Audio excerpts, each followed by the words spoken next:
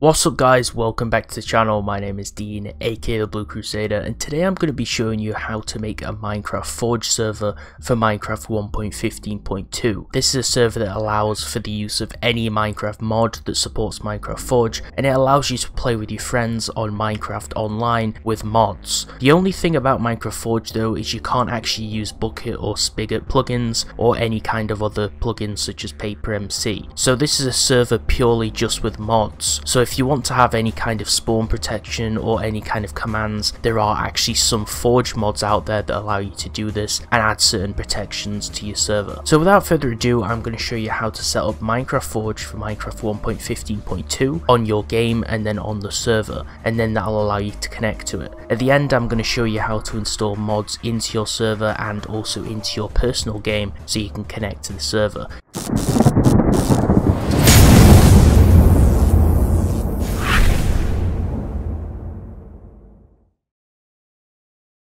You're going to need the mods on your game and the mods on your server separately so that they're running on the server and so that you have the files to actually connect. So first of all the links will be in the description everything that's going to be covered in this video. We're going to go to files.minecraftforge.net and if we just expand this 1.15 point we can go under 1.15.2 and click on the installer. So we're going to download the installer because that's actually the quickest and easiest method to do it and the installer allows us to select our game and and our server so we can use it twice to install both the versions we actually need. So press keep at the bottom so we can actually save the file and then what we're going to do is once it's actually finished downloading at the bottom on Google Chrome it gives you the download progress so we can just wait a few moments. Once it's finished downloading we're going to have to go into our downloads folder and run it. Now this finished downloading I'm in my downloads folder and if we just right click it and I press open with and then press Java, we can actually run the Forge installer.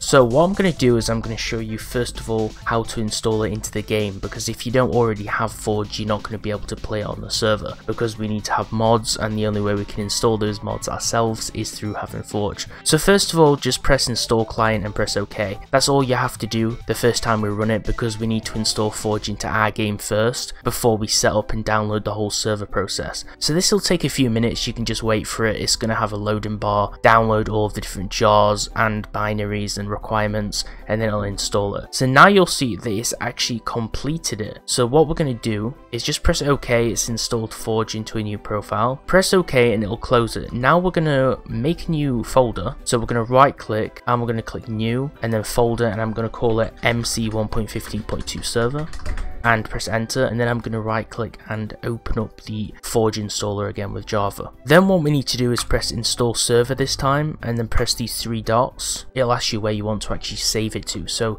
just click your name and then click on the downloads folder or wherever you've put your folder and I'm going to select the MC 1.15.2 server and press open and then just press OK and that will actually install the server files into your new server folder which you actually created and then we can actually run the server from there. Now it works exactly the same as setting up a normal Minecraft server. I have done tutorials on the normal Minecraft vanilla server in the past a few weeks ago. It works exactly the same but we do need to install mods onto this server. So I'll show you how to get mods from a certain website later and how to install them and we're going to need to do that for both our game and the server like I mentioned before. So the server takes just that a little bit longer to set up so you might need to be a little bit more patient especially if you're on a slower PC because the server has a lot more files to download than the single player mod does. So when it's downloaded it'll say successfully downloaded Minecraft server and installed. Press OK and now we don't need this installer so you can go ahead and just delete it. Then go inside the folder and what we need to do now is we need to right click, press new and press text document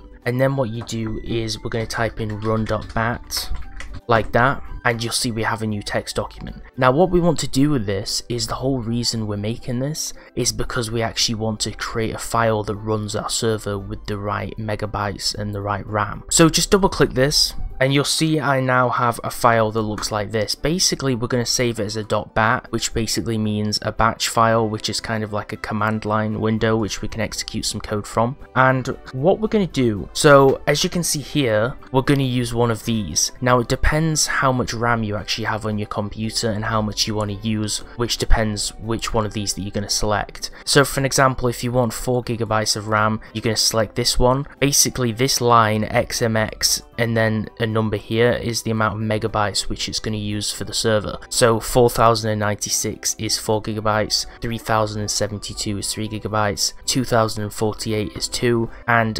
1024 is 1 gigabyte. So I'm just going to use 2 gigabytes. If you have a good PC with a lot of RAM, for an example, I have 16 gigabytes, then you might want to select a higher value. So I guess we could actually select 4 gigabytes in my case, but if you have a computer with only 8 gigabytes, you might want to only select 2 or 3 gigabytes of. RAM. So I'm going to leave this here and you can remove this line where it says the amount of gigabytes. That's just, we don't need that. And now press file, save as, and here we want to remove this .txt and go down to all types and we want to find .bat and you'll see batch file here dot .bat just press that and now it'll save it as a dot .bat file so press save. And now you'll see that it changes all the highlights of different text that's just because it recognizes the commands and I'm going to X this off. If you don't have the same notepad that I have I have a modified version then do download notepad++ for an example if I just right click the dot .bat and press edit it'll open it in the normal notepad and we file save as and you can only save it as a text document so I would recommend using notepad Notepad++. So you can delete the old .txt, we don't need that anymore, and we can run our server. So right click on the run.bat and press run as administrator, and now it will bring up a server console. So it says unable to access jar file forge server.jar. Okay, now that's a fixable error, that's just something which we forgot to do. So press any key to continue, and if we right click on this again, you'll see that our file which we actually created to run the server, it says to open the forge server.jar. So all we're going to do is we're going to right click on the actual forge that we have here and press rename and press Control and C. And we're going to put this in here okay? And put .jar and then we're going to save it with Control and S.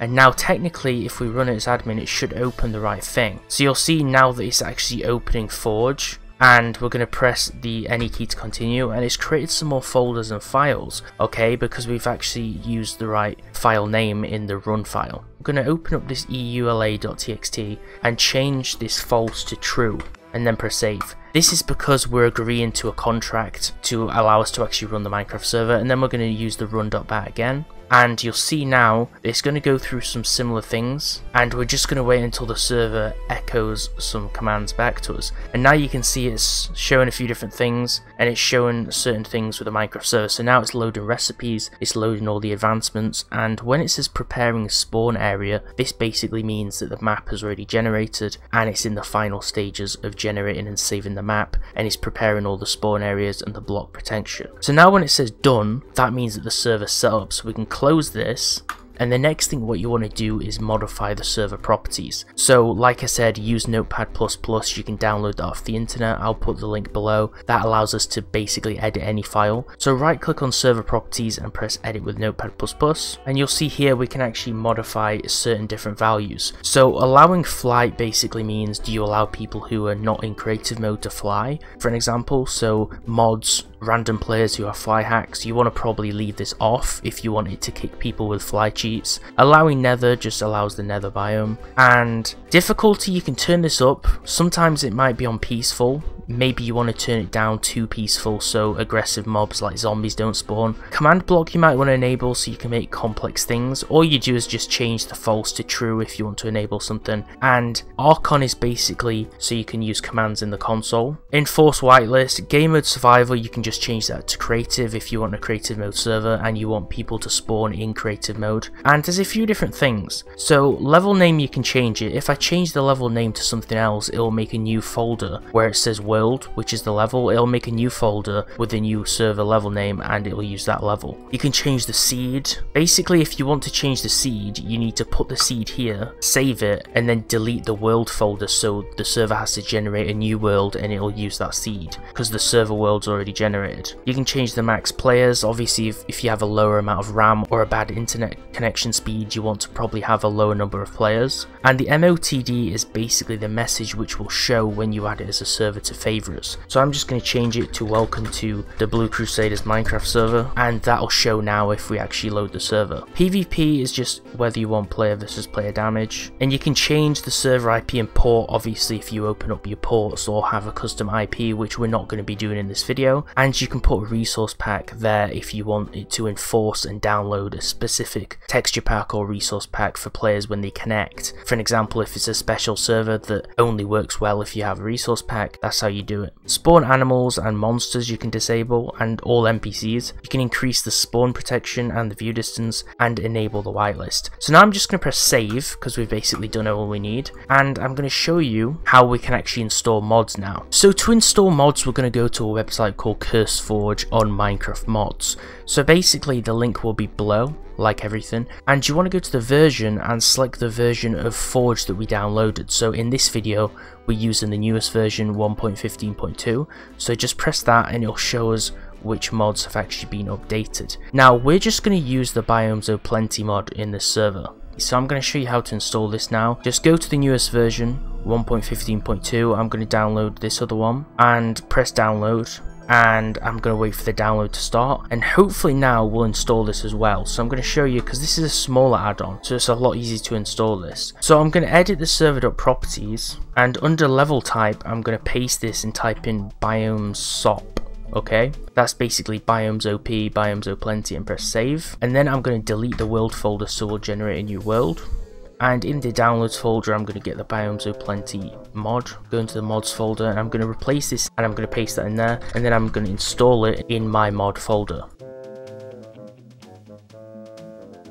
So now we're going to run the server again and see if it loads. So now the Minecraft server is starting and you'll see that everything's loading. It's loading all the advancements, the recipes, everything from before, but it's actually remaking the map because I obviously deleted the old world in favour of the new Biomes O Plenty type. So hopefully everything should be done and it says registering BOP commands, which I presume is Biomes O Plenty. And now to test out the server, I'm going to open up the Minecraft launcher. You obviously will know where you've saved it and I'm going to try and connect to our new local server. So hopefully hopefully now we should be able to drop straight into our server and test out all the mods. Now the first thing what you're going to need to do is the profile at the bottom left, you're going to have to select the new Forge one we downloaded. So we're going to find the new Forge install, which should be somewhere around here. Here, Forge 1.15.2, okay? Just to double check, I'll press edit and you'll see it says Forge 1.15.2. If you can't find it, you can just press on new profile and then find the Forge and make a new profile like that and we're going to play on this forge and now we should be able to actually load our mods. Okay, so now you'll see we're actually in game. If we press on mods, it says Biomes O Plenty. So we have the mod installed in single player and also our server successfully started. So click on multiplayer, direct connect or add server and the server address should be localhost for your computer and the name, just give it a random name and press done and it will add it to the bottom of your list and you'll see the message of the day which we edited earlier, welcome to the Blue Crusader server is now showing. So if we just connect to it and press join server, it should actually allow us to actually join the server. So now, hopefully, if I just remove this uh, x-ray resource pack from our last tutorial video, hopefully we should be able to see our new world. So now you'll see we're surrounded by everything, we've got our new world loading, and what we can do next is if we open up the run.bat, which is the server console, we can actually type in commands. So we could type in OP space the Blue Crusader, which is the player name, and press enter, and now on the server it'll say made the Blue Crusader a server operator. So now that we've done this, I'm actually an operator, so I could do game mode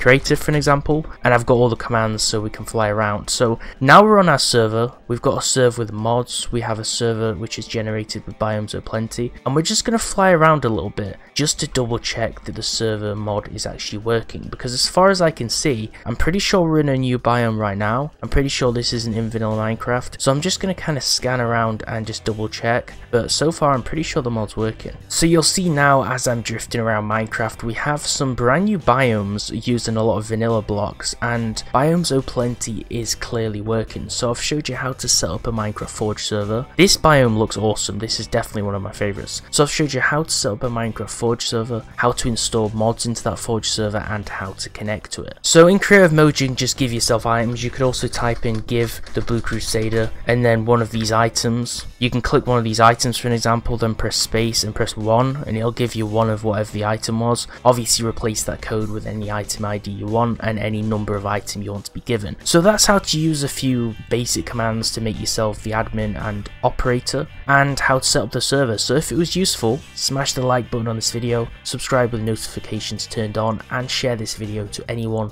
who wants to make a Minecraft Forge server with the mods. Thanks for watching guys, and I'll see you next time.